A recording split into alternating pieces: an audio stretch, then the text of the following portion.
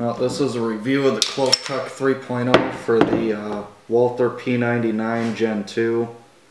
And this is a TP9 SA.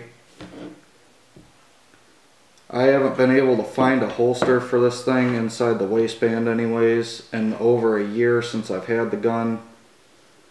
Nobody's put up, I've only seen one guy on Google say that he got it. I've seen that about a month ago and decided I'd go ahead and order the holster for it. It does actually fit in nice and tight like it's supposed to, like a Glock would fit a Glock holster. And if anybody has any questions, feel free to comment below and ask me anything you need to know.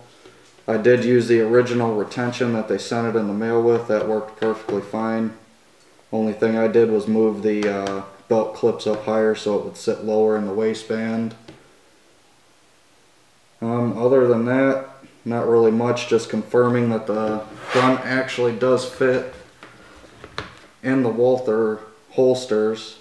Haven't seen anybody put anything out about it, so just basically confirming for anybody looking into buying a holster for this gun.